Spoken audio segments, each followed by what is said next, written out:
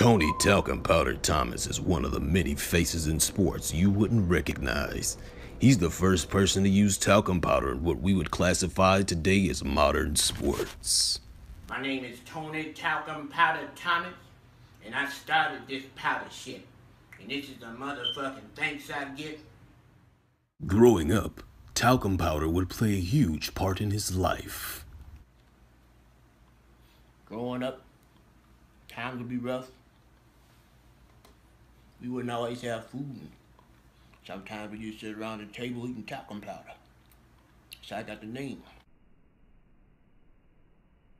With the dependency on powder as food, it led to much confusion and drug abuse in his teenage years. Cocaine?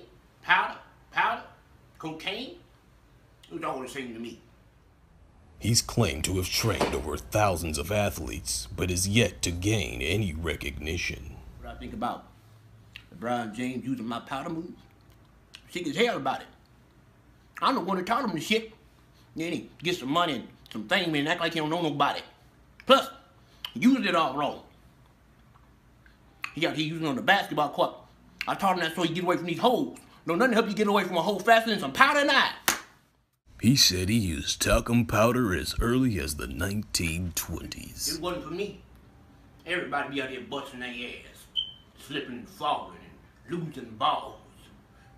I'm not the ball of this shit. I started this shit. I'm the daddy. You coming to take away my babies. Tony Talcum Powder Thomas was often overlooked in sports for his lack of athleticism, but his grip was always tight.